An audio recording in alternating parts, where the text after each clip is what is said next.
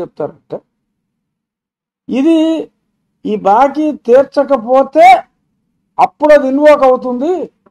Suppose మేము మూడేళ్ళ తర్వాత తీర్చలేదు అనుకోండి ఈ లోపు రెండేళ్ళు తీర్చామనుకోండి ఆ మూడేళ్ళలో తీర్చకపోతే అప్పుడు అది రాష్ట్ర బాకీ కింద తీసుకుంటాం తప్ప ఇప్పుడు రాష్ట్ర బాకీ కింద తీసుకోవాలని చెప్పి నా తొక్కలో లాజిక్ ఒకటి చెప్పారు.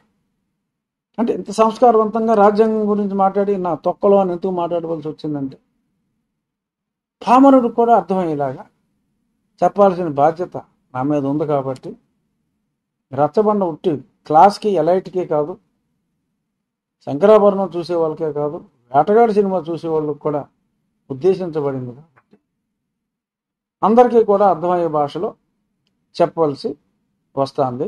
వెరసి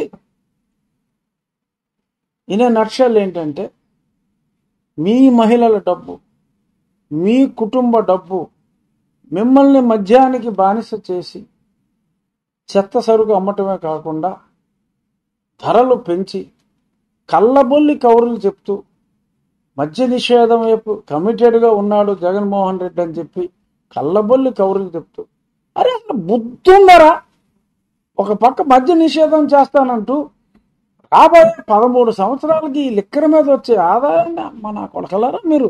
తాకట్టెట్టేసి అప్పులు లేపేసి ఈ సంవత్సరమే ఖర్చెట్టేసి భవిష్యత్తే లేకుండా చేసి మద్య నిషేధం చేయకపోతే ఓటే అడగను.